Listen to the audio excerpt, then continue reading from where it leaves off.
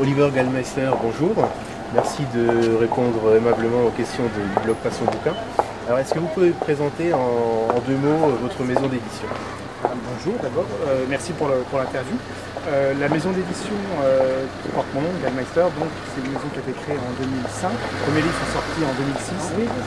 Et c'est une maison qui, qui a un profil très simple puisqu'on ne fait que la littérature américaine contemporaine. Voilà, avec plusieurs collections, une littérature plutôt des grands espaces. On retrouve dans la collection Nature Writing, la collection noire aussi, donc ouest, les grands espaces de l'Alaska au Nouveau-Mexique. Une littérature plus urbaine qu'on retrouve dans la collection Americana qui est dirigée par un ami à moi qui est éditeur qui s'appelle Philippe Bénin.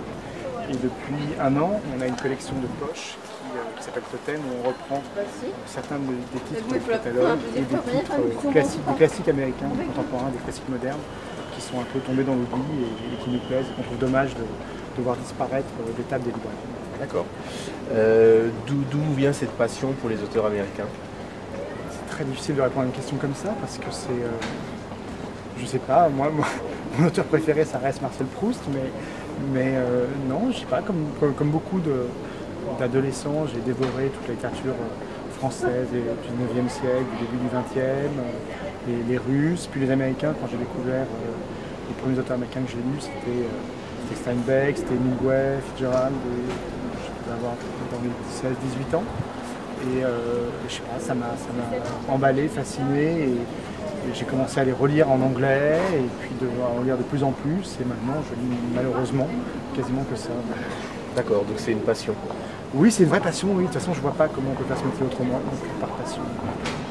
Alors j'ai vu en feuilletant votre catalogue que vous avez plusieurs euh, euh, livres dont le, titre contient euh, la truite, ça parle de, truite et de pêche à la mouche. Est-ce que vous avez des auteurs monomaniaques?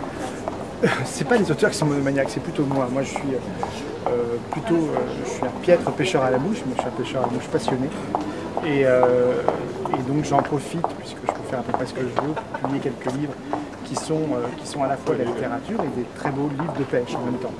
C'était d'ailleurs le point de départ de la maison les Américains ont ce, talent de pouvoir écrire sur des choses qui en France paraissent triviales et, euh, d'en faire de la vraie littérature.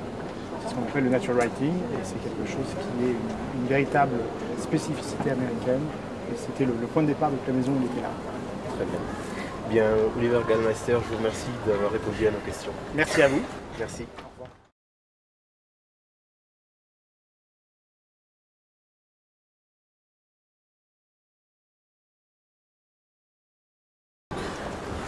Ça